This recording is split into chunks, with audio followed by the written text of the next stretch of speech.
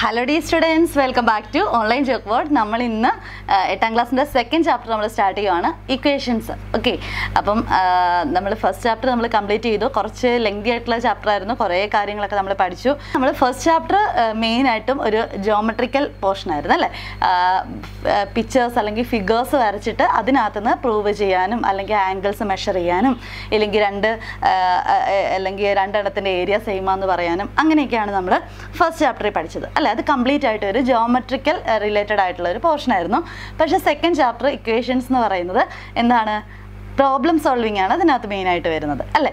അതായത് നമുക്കിപ്പം ഒരു പ്രോബ്ലം ഒരു ക്വസ്റ്റ്യൻ നമുക്ക് തരും അല്ലെങ്കിൽ ഒരു മാത്തമാറ്റിക്കൽ പ്രോബ്ലം നമുക്ക് തരും അതിന് ആൻസറിലേക്ക് നമുക്ക് എത്തണം. അപ്പോൾ അങ്ങനത്തെ ടൈപ്പ് ക്വസ്റ്റ്യൻസ് ആണ് ഇക്വേഷൻസ് എന്നുള്ള ചാപ്റ്ററിനകത്ത് നിങ്ങൾ കാണാനായിട്ട് പോകുന്നത്. അപ്പോൾ അതിനു മുമ്പ് ടീച്ചർ ഒരു കാര്യം പറയാം. നമ്മൾ ഫസ്റ്റ് ചാപ്റ്റർ കംപ്ലീറ്റ് ചെയ്തു പക്ഷേ കുറച്ച് എക്സ്ട്രാ ക്വസ്റ്റ്യൻസ് ടീച്ചറിന് തരണം എന്നുണ്ടായിരുന്നു എക്സാം പോലെയൊക്കെ. അപ്പോൾ അത് വരുന്ന ദിവസങ്ങളിൽ ടീച്ചർ അതിന്റെ വീഡിയോയും കൂടെ അപ്ലോഡ് ചെയ്യും കേട്ടോ. കാരണം ഇപ്പം ഇക്വേഷൻസ് ടീച്ചർ സ്റ്റാർട്ട് ചെയ്യാൻ കാരണം ചില കൂട്ടുകാരെങ്കിലും ടീച്ചറിന് മെസ്സേജ് അയക്കാൻ തുടങ്ങിയിട്ടുണ്ട് അവരുടെ സ്കൂളിൽ ഇക്വേഷൻസ് സ്റ്റാർട്ട് ചെയ്തു എന്നും പറഞ്ഞു. അപ്പോൾ അതുകൊണ്ടാണ് നമ്മളിപ്പം പെട്ടെന്ന് തന്നെ ഇത് സ്റ്റാർട്ട് ചെയ്യുന്നത്. അപ്പോൾ ഈ കൂട്ടത്തിൽ തന്നെ ഇതിന് ശേഷമാണെങ്കിലും നമ്മുടെ ഒന്നാമത്തെ ചാപ്റ്ററിന്റെ എക്സ്ട്രാ ക്വസ്റ്റ്യൻസ് ഒക്കെ ടീച്ചർ അപ്ലോഡ് ചെയ്തോളാം കേട്ടോ. ഓക്കെ പിന്നെ അതിനു മുമ്പ് നിങ്ങൾ ഫസ്റ്റ് ടൈം ആണ് ഈ ചാനൽ കാണുന്നതെങ്കിൽ നിങ്ങൾ മറക്കാതെ ഒന്ന് സബ്സ്ക്രൈബ് ചെയ്തേക്കുക അതുപോലെ തന്നെ ആ സബ്സ്ക്രൈബ് ബട്ടന്റെ റൈറ്റ് സൈഡിലുള്ള ബെല്ലൈക്കൺ ഒന്ന് എനേബിൾ ചെയ്യുവാണെങ്കിൽ ടീച്ചർ അപ്ലോഡ് ചെയ്യുന്ന വീഡിയോസ് നിങ്ങൾക്ക് നോട്ടിഫിക്കേഷനായിട്ട് ലഭിക്കും. കേട്ടോ? പിന്നെ നിങ്ങൾക്ക് എന്തെങ്കിലും സംശയങ്ങളോ അല്ലെങ്കിൽ എന്തെങ്കിലും അഭിപ്രായങ്ങളോ ഒക്കെ ഉണ്ടെങ്കിൽ നിങ്ങൾക്ക് കമന്റ് ചെയ്യാം. ഇഷ്ടമെങ്കിൽ ലൈക്ക് ചെയ്യുക. പിന്നെ അതുപോലെ തന്നെ ഏറ്റവും ഇമ്പോർട്ടന്റ് ആയിട്ടുള്ള കാര്യം നിങ്ങൾക്ക് നിങ്ങളുടെ ഫ്രണ്ട്സിന് നിങ്ങൾക്ക് ഷെയർ ചെയ്യുക. അപ്പോൾ നമുക്ക് തുടങ്ങാം അല്ലേ? ടീച്ചർ ജസ്റ്റ് ഒരു ചാപ്റ്ററിന്റെ ഫുൾ ഒരു ഇൻട്രൊഡക്ഷൻ പറഞ്ഞു കഴിഞ്ഞാൽ ഇക്വേഷൻസിന്റെ ചാപ്റ്ററിന്റെ ഫസ്റ്റ് പോർഷൻ എന്ന് പറഞ്ഞു കഴിഞ്ഞാൽ നമുക്ക് കുറച്ച് സിമ്പിൾ ആയിട്ടുള്ള കുറച്ച് പ്രോബ്ലംസ് ആണ്. നമുക്കത് ലോജിക്കലായിട്ട് തന്നെ നമുക്ക് ചിന്തിച്ച് കഴിഞ്ഞ് കഴിഞ്ഞാൽ നമുക്ക് അതിന്റെ ആൻസർ കിട്ടുന്ന ക്വസ്റ്റ്യൻസ് ആണ്. നിങ്ങൾ കണ്ടെങ്കിൽ അറിയാം ആദ്യം അഡീഷൻ ആൻഡ് സബ്ട്രാക്ഷൻ എന്നുള്ളൊരു ഹെഡിങ് ഉണ്ട്. പിന്നെ മൾട്ടിപ്ലിക്കേഷൻ ആൻഡ് ഡിവിഷൻ എന്നുള്ളൊരു ഹെഡിങ് ഉണ്ട്. അപ്പം പിന്നെ അതിനുശേഷം ഡിഫറെന്റ് ചേഞ്ചസ് അങ്ങനെ ഒരു ഹെഡിങ് ഉണ്ട്. അപ്പോൾ ഇതെല്ലാം നമുക്ക് ആ ക്വസ്റ്റ്യൻ വായിക്കുമ്പോൾ തന്നെ ഇപ്പോൾ അത്യാവശ്യം നിങ്ങൾ എട്ടാം ക്ലാസ്സിലായല്ലേ നിങ്ങൾക്ക് ചിന്തിക്കാനൊക്കെ ഉള്ള നല്ല കഴിവുണ്ട്. അപ്പോൾ നമ്മൾ ചിന്തിച്ച് കഴിഞ്ഞാൽ തന്നെ നമുക്ക് അതിന്റെ ആൻസറിലേക്ക് നമുക്ക് എത്താനായിട്ട് സാധിക്കുന്ന ക്വസ്റ്റ്യൻസ് ആണ്. പക്ഷേ അതിന് ശേഷം വന്നു കഴിയുമ്പോൾ നമുക്ക് എപ്പോഴും നമുക്ക് എപ്പോഴും നമുക്ക് ലോജിക്കൽ തിങ്കിങ് വെച്ചിട്ട് അല്ലെങ്കിൽ നമ്മൾ തിങ്കിങ് കപ്പാസിറ്റി വെച്ചിട്ട് നമുക്ക് എല്ലാത്തിനും ആൻസർ ചെയ്യാനായിട്ട് സാധിക്കാതെ വരുന്ന കണ്ടി ഇത് വരും അല്ലേ? അപ്പോൾ അങ്ങനെ വരുന്ന സമയങ്ങളിൽ നമുക്കതിനെ നമുക്ക് കുറച്ച് നമ്പേഴ്സിന് പകരം നമ്മൾ വേറെ കുറച്ച് വേരിയബിൾസ് ഒക്കെ യൂസ് ചെയ്യും. വേറെ കുറച്ച് വേരിയബിൾ എന്ന് പറഞ്ഞാൽ നിങ്ങൾ ഏഴാം ക്ലാസ്സിൽ അൺചേഞ്ചിങ് റിലേഷൻസിനകത്ത് നിങ്ങൾ കുറച്ച് ലെറ്റേഴ്സ് ഒക്കെ നമ്മൾ വേരിയബിൾസ് ആയിട്ട് എഴുതുന്നതൊക്കെ നിങ്ങൾ പഠിച്ചിട്ടുണ്ട് അല്ലേ? അതായത് ലെറ്റേഴ്സ് യൂസ് ചെയ്തിട്ട് നമ്മൾ നമ്പേഴ്സിനെ റെപ്രസെന്റ് ചെയ്യും അല്ലേ? എന്നിട്ട് നമ്മൾ ഇപ്പം എക്സ് വൈ സെഡ് അല്ലേ? അതൊക്കെ യൂസ് ചെയ്തിട്ട് നമ്മൾ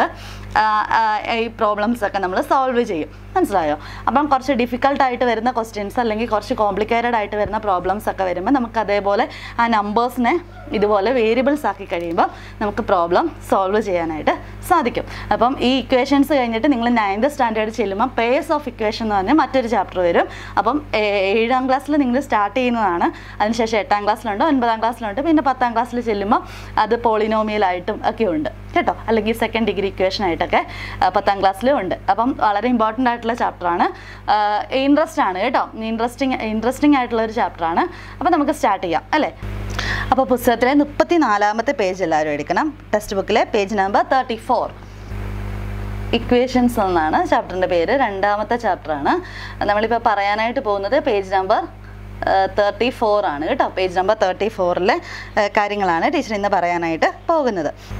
ഓക്കെ നിങ്ങൾക്ക് മുപ്പത്തി മൂന്നാമത്തെ പേജിൽ അതായത് ഇക്വേഷൻസ് എന്നുള്ള ചാപ്റ്റർ സ്റ്റാർട്ട് ചെയ്യുമ്പം നമ്മൾ അവിടെ ഒരു പിക്ചർ കാണുന്നുണ്ട് അല്ലേ? അത് ആരാണത്?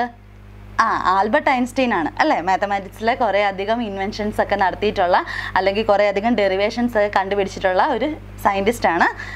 Albert Einstein okay. അപ്പം ഈ പിക്ചർ കാണുമ്പോൾ ഒന്ന് ഓർത്തേക്കായിട്ട് ആൽബർട്ട് ഐൻസ്റ്റീൻ ആണ് അപ്പം ആ ബോർഡിൽ കാണുന്നത് കുറേ അധികം കോംപ്ലിക്കേറ്റഡ് ആയിട്ടുള്ള കുറച്ച് കാര്യങ്ങളാണ്. അത് നിങ്ങൾ വലിയ ക്ലാസ്സുകളിലൊക്കെ ചെല്ലുമ്പോൾ പഠിക്കുന്ന കാര്യങ്ങളാണ്. അപ്പോൾ ഇതെല്ലാം പക്ഷേ നമ്മളിപ്പോൾ പഠിക്കാൻ പോകുന്നത് ഇക്വേഷൻസ് എന്നുള്ള ഏറ്റവും സിമ്പിൾ ആയിട്ടുള്ള കാര്യങ്ങളാണ് നിങ്ങൾ ഈ എട്ടാം ക്ലാസ്സിൽ പഠിക്കാനായിട്ട് പോകുന്നത് കേട്ടോ. ഓക്കെ. അപ്പം നമുക്ക് നോക്കാം. അഡീഷൻ ആൻഡ് സബ്ട്രാക്ഷൻ എന്നുള്ള ഹെഡിങ്ങിന്റെ താഴെയുള്ള കാര്യങ്ങളാണ് ടീച്ചർ ഇപ്പം വായിക്കുന്നത്. അപ്പോൾ അതിന് ആൻസേഴ്സ് നിങ്ങളും കൂടെ പറയണം കേട്ടോ. ഓക്കെ.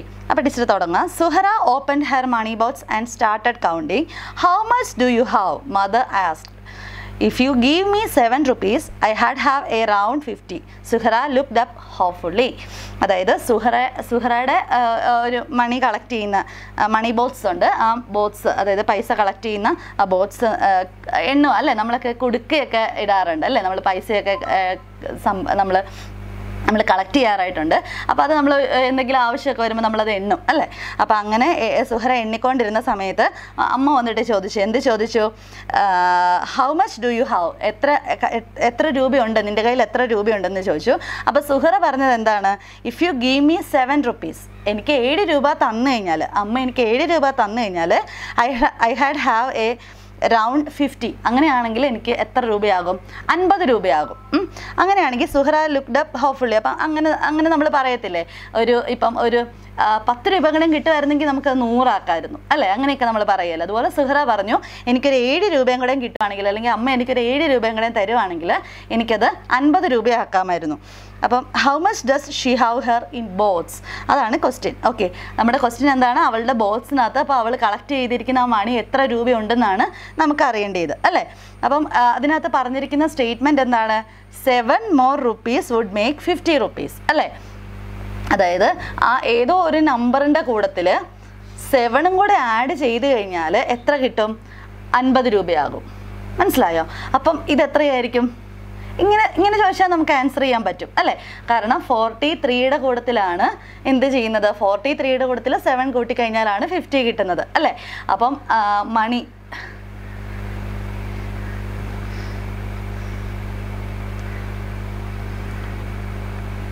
അപ്പം മണി വിത്ത് സുഹറ അല്ല സുഹറയല്ലേ? മണി വിത്ത് സുഹറ അപ്പം എത്രയാണ്? Money with Suhara equal to rupees forty three ആണ്. അല്ലേ ഫോർട്ടി ത്രീന്റെ കൂട്ടത്തിൽ സെവൻ അമ്മയും കൂടെയും കൊടുക്കുവാണെങ്കിലാണ് ഫിഫ്റ്റി ആകുന്നത് അല്ലേ? അപ്പം അപ്പോൾ അവിടെ നമുക്ക് ആൻസർ അവളുടെ കയ്യിലുള്ള എമൗണ്ട് എന്ന് പറഞ്ഞു കഴിഞ്ഞാൽ ഫോർട്ടി ത്രീ റുപ്പീസാണ് ഇല്ലേ നമുക്ക് എന്ത് ചെയ്യാം? ഇങ്ങനെ നമുക്ക് വേണമെങ്കിൽ ചെയ്യാം. ഇല്ലെങ്കിൽ അൻപതിൽ നിന്ന് അൻപത് രൂപ ആക ആകണം അല്ലേ? ആ അൻപതിൽ നിന്ന് ഈ അമ്മ തരാൻ പോകുന്ന ഏഴ് അമ്മയോട് ചോദിച്ചിരിക്കുന്ന ഏഴ് കുറച്ച് കഴിഞ്ഞാൽ നമുക്ക് എന്ത് കിട്ടും? ഈ ഫോർട്ടി ത്രീ എന്ന്. കിട്ടും അല്ലേ? അത് നമുക്ക് ഈ സ്റ്റേറ്റ്മെന്റിൽ നിന്ന് നമുക്ക് കിട്ടും അല്ലേ? ഈ സ്റ്റേറ്റ്മെന്റ് ഇങ്ങനെ വേണമെങ്കിൽ എഴുതാം ഇല്ലെങ്കിൽ നമുക്ക് ചിന്തിക്കാം. അപ്പം നമുക്ക് ഒന്നെങ്കിൽ ഇത് ഏതോ നമ്പറിന്റെ കൂട്ടത്തിൽ സെവൻ ആഡ് ചെയ്ത് കഴിയുമ്പോൾ ഫിഫ്റ്റി കിട്ടും. അപ്പോൾ നമുക്ക് ഇതൊക്കെ ചെറിയ നമ്പറുകളായതുകൊണ്ട് നമുക്ക് പെട്ടെന്ന് ഇത് ഫോർട്ടി ത്രീന്റെ കൂടത്തിൽ സെവൻ ആഡ് ചെയ്യുമ്പോഴാണ് ഫിഫ്റ്റി കിട്ടുന്നതെന്ന് മനസ്സിലാവും. പക്ഷേ എല്ലാ കേസിലും നമുക്ക് ചിലപ്പം ഇങ്ങനെ പെട്ടെന്ന് ഏത് നമ്പറിന്റെ കൂടെ ഇവിടെ ഉള്ളത് സെവൻ അല്ല ഒരു ത്രീ ഡിജിറ്റ് നമ്പറൊക്കെ ആണെങ്കിൽ നമ്മൾ എന്ത് ചെയ്യണം? വലിയ വലിയ നമ്പറുകളൊക്കെ ആണെങ്കിൽ അതായത് ഇപ്പം ഏതോ നമ്പറിന്റെ കൂട്ടത്തിൽ ഇരുന്നൂറ്റി പതിനാറ് ആഡ് ചെയ്യുമ്പോൾ നാനൂറ്റി അൻപത്തി നാല് കിട്ടും. Okay four hundred and fifty four കിട്ടും. അങ്ങനെയൊക്കെ ആണെങ്കിൽ നമ്മൾ എന്ത് ചെയ്യണം? ഇത് കണ്ടുപിടിക്കാനായിട്ട്. നമുക്ക് ഇതുപോലെ forty three plus forty three ആണെന്ന് നമുക്ക് ഇത് നമുക്ക് ഒറ്റ നോട്ടത്തിൽ മനസ്സിലാകുമായിരുന്നു. ഇവിടെ പക്ഷേ നമ്മൾ എന്ത് ചെയ്ത് നോക്കണം? ഫോർ ഹൺഡ്രഡ് ആൻഡ് ഫിഫ്റ്റി ഫോറിൽ നിന്ന് two hundred and sixteen subtract ചെയ്ത് നോക്കണം. അപ്പോൾ സബ് സബ്ട്രാക്ട് ചെയ്യുമ്പോൾ നമുക്ക് ഇതിന്റെ ആൻസർ കിട്ടും. ഫോർ മൈനസ് സിക്സ് പറ്റത്തില്ല. അപ്പോൾ എന്ത് ചെയ്യും? ഈ ഫൈവിൽ നിന്ന് ആ, ഒരു വൺ ഇപ്പുറത്തേക്ക് എടുക്കും. അപ്പോൾ ഇത് ഫോർട്ടീൻ ആകും. ഈ ഫൈവ് എത്രയാകും? ഫോർ ആകും. ഫോർട്ടീൻ മൈനസ് സിക്സ് എത്രയാണ്? ഫോർട്ടീനിൽ നിന്ന് സിക്സ് പോയി കഴിഞ്ഞ് കഴിഞ്ഞാൽ എയ്റ്റ് ആണ്. അല്ലേ? ഫോർ മൈനസ് വൺ എന്ന് പറഞ്ഞാൽ ത്രീ ആണ്. ഫോർ മൈനസ് ടു എന്ന് പറഞ്ഞു കഴിഞ്ഞാൽ ടു ആണ്. അല്ലേ? അപ്പോൾ ഇവിടുത്തെ answer two hundred and thirty eight എന്നാണ് വരുന്നത്. മനസ്സിലായോ? അപ്പോൾ അങ്ങനെയാണ് അവിടെ സുഹറയുടെ കയ്യിലുള്ള പൈസ എത്രയാണെന്നുള്ളത് നമ്മൾ കണ്ടുപിടിച്ചത്. ഇനി അടുത്തൊരു ക്വസ്റ്റ്യൻ ഉണ്ട്. Unni spend eight rupees of his Vishu kaineettam to buy a pen okay ഉണ്ണിക്ക് കിട്ടിയ ഉണ്ണിക്ക് കിട്ടിയ വിഷു കൈനീട്ടത്തിൽ നിന്ന് ഉണ്ണി എന്ത് ചെയ്തു? സ്പെൻഡ് എയ്റ്റ് റുപ്പീസ് സ്പെൻഡ് എന്ന് പറയുമ്പോൾ ചിലവാക്കി അല്ലേ? Spend eight rupees out of his Vishu kaineettam to buy a pen അപ്പം പെൻ മേടിക്കാൻ വേണ്ടി ഉണ്ണി സ്പെൻഡ് ചെയ്ത പൈസ എന്ന് പറഞ്ഞു കഴിഞ്ഞാൽ റുപ്പീസ് എയ്റ്റ് ആണ്. അല്ലേ? ഇത് ഉണ്ണിയുടെ പ്രോബ്ലം ആണ് കേട്ടോ. ഇതൊക്കെ ടെക്സ്റ്റ് ബുക്കിനകത്ത് solve ചെയ്തിരിക്കുന്നതാണ്. Okay now he has forty two rupees left അവന്റെ കയ്യിൽ എത്ര രൂപ മിച്ചമുണ്ട്? Left rupees forty two okay forty two rupees ഉണ്ണിയുടെ കയ്യിലത്ത് ഈ പേന മേടിച്ചതിന് ശേഷം ഉണ്ട്. ഹൗ മച്ച് ഈസ് ദ കൈനീട്ടം? അങ്ങനെയാണെങ്കിൽ വിഷു കൈനീട്ടം എത്ര രൂപയായിരുന്നു? വിഷു കൈനീട്ടത്തിൽ നിന്നാണ് എട്ട് രൂപ പേന മേടിക്കാനായിട്ട് എടുത്തത്. അതിനകത്തുനിന്ന് മിച്ചം റുപ്പീസ് നാൽപ്പത്തിരണ്ട് രൂപ ഇപ്പം മിച്ചമുണ്ട്. അപ്പം ടോട്ടൽ വിഷു കൈനീട്ടം എത്രയായിരിക്കും? വിഷു കൈനീട്ടം അല്ലേ?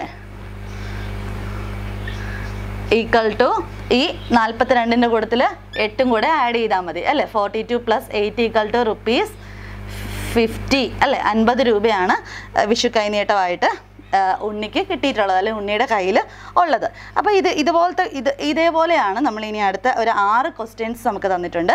അപ്പോൾ ആ സിക്സ് ക്വസ്റ്റ്യൻസിന് നമുക്ക് ആൻസർ ചെയ്യാം അല്ലേ? അപ്പോൾ ഒന്നാമത്തെ ക്വസ്റ്റ്യൻ ഇതാണ്. Six more marks and I would have got full hundred marks in the mark test Rajan was sad how much mark did he actually get question ഇതാണ്. ആറ് മാർക്ക് കൂടെ കിട്ടിയിരുന്നെങ്കിൽ രാജന് ഫുൾ എത്ര മാർക്കിലാണ്? ഫുൾ എത്രയിലാണ് എക്സാം? ഹൺഡ്രഡ് മാർക്കിലാണ് exam. അങ്ങനെയാണെങ്കിൽ രാജ് നമ്മുടെ രാജന് ആറ് മാർക്ക് കൂടെ കിട്ടിയിരുന്നെങ്കിൽ രാജന് എന്ത് കിട്ടുമായിരുന്നു? ഫുൾ മാർക്ക് കിട്ടുമായിരുന്നു. ഹൺഡ്രഡ് മാർക്കും കിട്ടുമായിരുന്നു. അങ്ങനെയാണെങ്കിൽ അപ്പം അതുകൊണ്ട് രാജന് ഭയങ്കര സങ്കടമാണ് കേട്ടോ. ഫുൾ മാർക്ക് കിട്ടാതെ ഫുൾ മാർക്കിൽ നിന്ന് അതായത് ആറ് മാർക്കോടെ കിട്ടിയാലേ ഫുൾ മാർക്ക് കിട്ടത്തുള്ളൂ. ഓക്കെ അപ്പം എങ്ങനെ അങ്ങനെയാണെങ്കിൽ how much mark did he get did he actually get അങ്ങനെയാണെങ്കിൽ ആ, ശരിക്കും രാജന് കിട്ടിയ മാർക്ക് എത്രയാണ്? പെട്ടെന്ന് തന്നെ നിങ്ങൾക്ക് മനസ്സിൽ കാൽക്കുലേറ്റ് ചെയ്യാം. നമുക്ക് സ്റ്റെപ്പ് ഒന്നും എഴുതാതെ തന്നെ നമുക്ക് വേണമെങ്കിൽ അതായത് ഫുൾ മാർക്ക് എന്ന് പറയുന്നത് ഹൺഡ്രഡ് ആണെന്ന് പറയുന്നുണ്ട്. അതായത് ഹൺഡ്രഡ് മാർക്കിലാണ് ഔട്ട് ഓഫ് ഹൺഡ്രഡിലാണ് എക്സാം നടത്തുന്നത്. ഇതിനകത്ത് ആറ് മാർക്ക് കൂടെ ഉണ്ടായിരുന്നെങ്കിൽ ആറ് മാർക്ക് കൂടെ ഉണ്ടായിരുന്നെങ്കിൽ അവന് രാജന് ഫുൾ മാർക്ക് കിട്ടുമെന്നാണ് അല്ലേ? അപ്പം ഏതോ ഒരു മാർക്കിന്റെ കൂട്ടത്തിൽ ആറൂടെ കൂട്ടുമ്പം എത്ര കിട്ടുന്നുണ്ട്? നൂറ് കിട്ടുന്നുണ്ട്. അപ്പോൾ ആ മാർക്ക് എത്രയായിരിക്കും? എത്രയായിരിക്കും? നമുക്കിത് ചെറിയ നമ്പറുകളൊക്കെ ആയതുകൊണ്ട് നമുക്ക് പെട്ടെന്ന് പറയാം അല്ലേ? നയന്റി ഫോറിന്റെ കൂട്ടത്തിൽ സിക്സ് ആഡ് ചെയ്താലാണ് ഹൺഡ്രഡ് എന്ന് കിട്ടുന്നത് അല്ലേ? അപ്പം നയന്റി ഫോർ മാർക്സ് ആണ് രാജന് കിട്ടിയത്. അപ്പം നമുക്കത് എങ്ങനെ എഴുതാം? എക്സാം എക്സാമിന് വരുമ്പോൾ നമുക്ക് വെറുതെ ഇങ്ങനെ ഒരു ഒറ്റ സ്റ്റേറ്റ്മെന്റ് കൊടുത്തു കഴിഞ്ഞാൽ നമുക്ക് മാർക്ക് മാർക്ക് കിട്ടത്തില്ല. അപ്പം നമുക്ക് ഇങ്ങനെ നിങ്ങൾക്ക് ചെയ്ത് നോക്കാം. അങ്ങനെ ആൻസർ കണ്ടുപിടിക്കാം. എന്നിട്ട് പക്ഷേ നിങ്ങൾ അതിന്റെ ജസ്റ്റ് ഒരു രണ്ട് മൂന്ന് ലൈനായിട്ട് സ്റ്റെപ്പായിട്ടൊന്ന് എഴുതണം കേട്ടോ. അപ്പം നമുക്ക് ആദ്യം എന്ത് എഴുതാം? ഈ ഹൺഡ്രഡ് ടോട്ടൽ മാർക്ക് എത്രയാണെന്നുള്ളത് നമുക്ക് എഴുതാം അല്ലേ? അപ്പോൾ total marks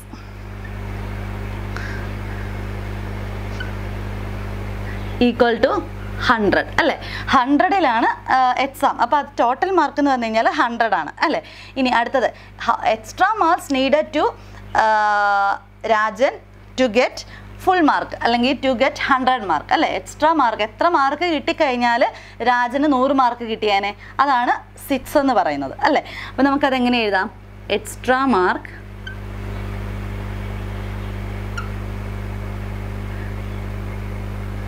needed.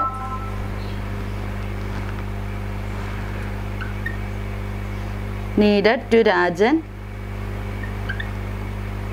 To get 100 mark.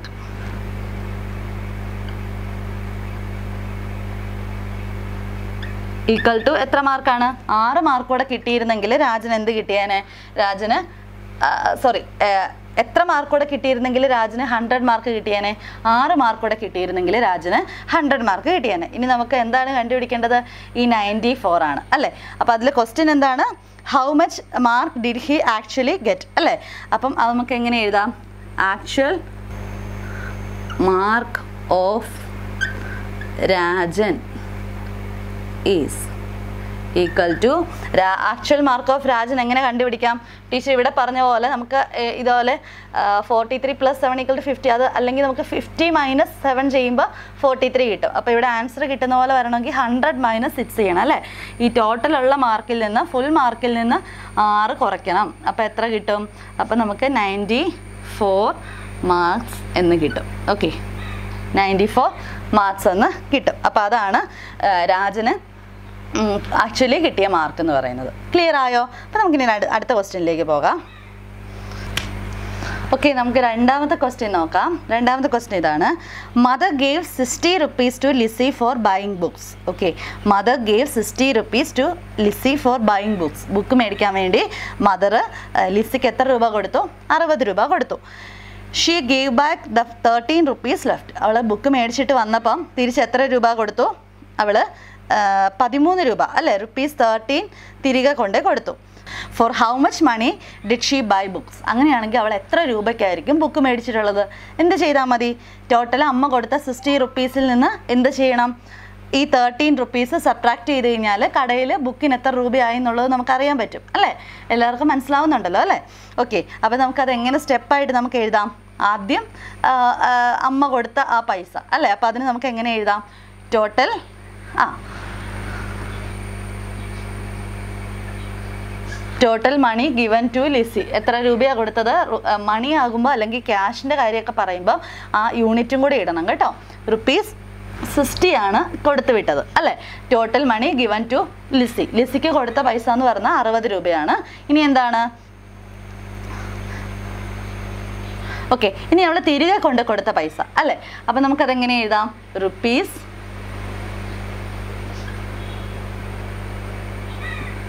given back to mother അമ്മയ്ക്ക് തിരികെ കൊണ്ട് കൊടുത്ത പൈസ. എത്ര രൂപയാണ് കൊണ്ട് കൊടുത്തേ? റുപ്പീസ് തേർട്ടീൻ ആണ് കൊണ്ട് കൊടുത്തതെന്ന് ഇതിനകത്ത് പറയുന്നുണ്ട്. അല്ലേ? അങ്ങനെയാണെങ്കിൽ amount amount used for buying books അല്ലേ? അടുത്തതായിട്ട് എന്താ വരുന്നത് for how much money did she buy books അപ്പോൾ എത്ര രൂപയ്ക്കാണ് അവൾ ബുക്കുകൾ വാങ്ങിച്ചതെന്ന് അല്ലേ? അപ്പോൾ നമുക്കത് എങ്ങനെ കണ്ടുപിടിക്കാം? Equal to amount used to buying books equal to ഈ സിക്സ്റ്റിയിൽ നിന്ന് എന്ത് സബ്ട്രാക്ട് ചെയ്യണം? തേർട്ടീൻ സബ്ട്രാക്ട് ചെയ്യണം. അറുപതിൽ നിന്ന് പതിമൂന്ന് പോയി കഴിഞ്ഞാൽ എത്രയാണ്? അറുപതിൽ നിന്ന് പത്ത് പോയി കഴിഞ്ഞ് കഴിഞ്ഞാൽ എത്ര വരും? അൻപത് വരും. അല്ലേ? അൻപതിൽ നിന്ന് മൂന്ന് പോയി കഴിഞ്ഞ് കഴിഞ്ഞാൽ ഫോർട്ടി സെവൻ എന്ന് കിട്ടും. അങ്ങനെ നിങ്ങൾക്ക് മനക്ക മനക്കണക്ക് ചെയ്യാം കേട്ടോ. ഇല്ലെങ്കിൽ നിങ്ങൾ ചെയ്ത് നോക്കിയാലും മതി. അപ്പോൾ നമുക്ക് ആൻസർ എത്രയാണ് കിട്ടുന്നത് റുപ്പീസ് ഫോർട്ടി സെവൻ എന്ന് കിട്ടും. ഇനി നമുക്ക് അടുത്ത ക്വസ്റ്റ്യൻ നോക്കാം. മൂന്നാമത്തെ ക്വസ്റ്റ്യൻ ഇതാണ്. ക്വസ്റ്റ്യൻ ഇതാണ് Gopalan bought a bunch of bananas okay Gopalan കുറച്ച് കുറച്ച് ബനാനാസ് വാങ്ങി അല്ലേ? ബനാനാസിന് നമ്മൾ പറയുന്നതാണ് ബഞ്ച് ഓഫ് ബനാനാസ് എന്നാണ് പറയുന്നത് അല്ലേ? ഓക്കെ ബഞ്ച് ഓഫ് ബനാനാസ് അപ്പോൾ കുറച്ച് ബനാനാസ് പോയി ഗോപാലൻ വാങ്ങി. Seven of them were rotten which he threw away okay ഏഴെണ്ണം ഏഴെണ്ണ റോട്ടൺ എന്ന് പറഞ്ഞു കഴിഞ്ഞാൽ ഏഴെണ്ണം ചീഞ്ഞതായിരുന്നു. അല്ലെങ്കിൽ ഏഴെണ്ണത്തിന് എന്തെങ്കിലും കേടുപാട് സംഭവിച്ചതായിരുന്നു. അപ്പോൾ ഏഴെണ്ണം അവൻ എന്ത് ചെയ്തു? അത് ത്രൂ എവേ കളഞ്ഞു അല്ലേ? Now there are forty six ഇപ്പോൾ എത്ര എണ്ണം ഉണ്ട് കയ്യിൽ നാൽപ്പത്തി ആറ് എണ്ണമാണ് കയ്യിലുള്ളത്. How many bananas were there in the bunch അങ്ങനെയാണെങ്കിൽ ആ കെട്ടിൽ എത്ര ബനാനാസ് ഉണ്ടായിരുന്നു? അപ്പം ഗോപാലൻ കടയിൽ പോയിട്ട് കുറച്ച് കുറച്ച് ബനാന മേടിച്ചു. അതിനകത്ത് ഏഴെണ്ണം ചീത്തതായിരുന്നു. അപ്പോൾ ഏഴെണ്ണം കളഞ്ഞു. അപ്പോൾ എത്ര എണ്ണം ഉണ്ടായിരിക്കും മിച്ചം? മനസ്സിൽ കാൽക്കുലേറ്റ് ചെയ്തേ. ടോട്ടൽ എത്രയാണെന്ന് അറിയത്തില്ല അല്ലേ? നമുക്ക് ടോട്ടൽ ഉള്ളതിൽ നിന്ന് ഏഴെണ്ണം കളഞ്ഞു. അല്ലേ? ഏഴെണ്ണം കളഞ്ഞു കഴിഞ്ഞപ്പോഴത്തേക്ക് മിച്ചം എത്ര എണ്ണം ഉണ്ട്? മിച്ചം നാൽപ്പത്തി നാൽപ്പത്തി ആറെണ്ണം ഉണ്ട് അല്ലേ? അപ്പോൾ ഇവിടെ മൈനസ് അതായത് എത്രയോ ടോട്ടൽ ഉള്ളതിൽ നിന്ന് ഏഴെണ്ണം ചീത്തയായിട്ട് പോയി. അപ്പം നമുക്ക് നാൽപ്പത്തി ആറ് കിട്ടി. അതായത് ഇത് ഇത് കണ്ടുപിടിക്കാൻ എന്ത് ചെയ്യണം? ഇവിടെ ഉള്ളത് കണ്ടുപിടിക്കാൻ വേണ്ടി ഇത് തമ്മിൽ കൂട്ടുവാണ് ചെയ്യേണ്ടത്. ഫോർട്ടി സിക്സ് പ്ലസ് സെവൻ ആണ് ചെയ്യേണ്ടത്. അപ്പോൾ എത്ര ആൻസർ വരും? ഫിഫ്റ്റി ത്രീ എന്ന് അല്ലേ? ഫിഫ്റ്റി ത്രീ എന്നാണ് ആൻസർ കിട്ടുന്നത്. ഇനി നമുക്ക് സ്റ്റെപ്സ് ആയിട്ട് എഴുതാം. അല്ലേ? ക്ലിയർ ആണല്ലോ അല്ലേ? ഓക്കെ അപ്പോൾ നമുക്ക് ആദ്യം എഴുതാം. നമ്പർ ഓഫ് റോട്ടൻ ബനാനാസ് എന്ന് വെച്ചാൽ കേടുപാട് സംഭവിച്ച ബനാനാസിന്റെ എണ്ണം. ഈക്വൽ ടു സെവൻ അല്ലേ? ഏഴായിരുന്നു റോട്ടൻ ബനാനാസിന്റെ എണ്ണം. ഇനി അടുത്തത്.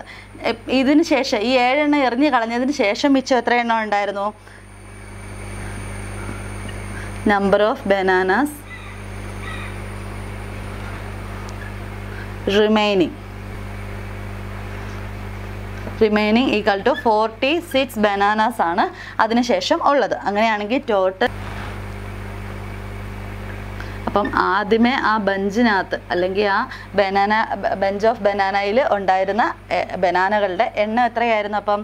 ഫോർട്ടി സിക്സിന്റെ കൂട്ടത്തിൽ ഇപ്പോൾ ഉള്ള ഫോർട്ടി സിക്സിന്റെ കൂട്ടത്തിൽ എറിഞ്ഞ് കളഞ്ഞ ആ ഏഴെണ്ണവും കൂടെ കൂട്ടണം. അല്ലേ? അപ്പം നമുക്ക് ഫിഫ്റ്റി ത്രീ നമ്പേഴ്സ് എന്ന് ആൻസർ കിട്ടും. അമ്പത്തി മൂന്ന് ബനാനാസ് ആയിരുന്നു ഉണ്ടായിരുന്നത്. ടോട്ടൽ ഉണ്ടായിരുന്നത് ആ കെട്ടിനകത്ത് എത്ര ബനാനാസ് ഉണ്ടായിരുന്നത്? ഫിഫ്റ്റി ത്രീ ബനാനാസ് ആണ് ഉണ്ടായിരുന്നത്. ക്ലിയർ ആണല്ലോ അല്ലേ? അപ്പം നമുക്കിനി നാലാമത്തെ ക്വസ്റ്റ്യനിലേക്ക് പോകാം. ഓക്കെ അപ്പോൾ നമ്മൾ ഇന്ന് പേജ് നമ്പർ തേർട്ടി ഫോറിലെ മൂന്ന് ക്വസ്റ്റ്യൻസ് നമ്മൾ കംപ്ലീറ്റ് ചെയ്തു. അപ്പോൾ എല്ലാവർക്കും ക്ലിയർ ആയെന്ന് വിചാരിക്കുന്നു. അപ്പം ബാക്കിയുള്ള ക്വസ്റ്റ്യൻസ് നമുക്ക് അടുത്ത വീഡിയോയിൽ കാണാം കേട്ടോ. അപ്പോൾ അതുവരേക്കും ഗുഡ് ബൈ ടേക്ക് കെയർ